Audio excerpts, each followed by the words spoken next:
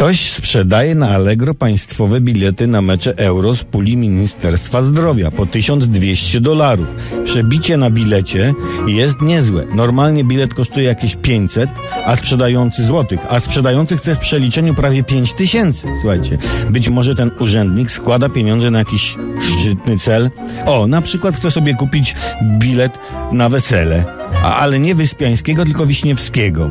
E, tego piosenkarza z ich stroje. Pan Michał za jeden bilet zaśpiewał 12 tysięcy złotych. Kazik śpiewa 12 groszy, tylko nie płacz, proszę, 12 groszy w zębach tu przynoszę.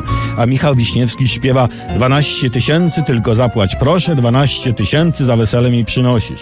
Czyli ten sprzedający bilety na euro musiałby sprzedać trzy bilety na półfinał, żeby na Wiśniewskiego starczyło. No i patrzcie, Wiśniewski wart jest trzy półfinały Mistrzostw Europy. I kto jest większą gwiazdą, Podolski czy Wiśniewski? No Podolski. No. Ale Michał Wiśniewski to musi strasznie swoją wybraną kochać, skoro za bilety na ślub z nią żąda tyle pieniędzy. Słuchajcie, jakie to romantyczne.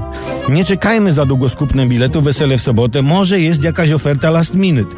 Trzeba się też spieszyć z tymi biletami na mecze za 1200 dolarów, bo się afera zrobiła i sprzedający może się wycofać. Bo według zasad UEFA biletami na euro spekulować nie wolno. A szybko, y, szybko wolno, żeby nie złapali.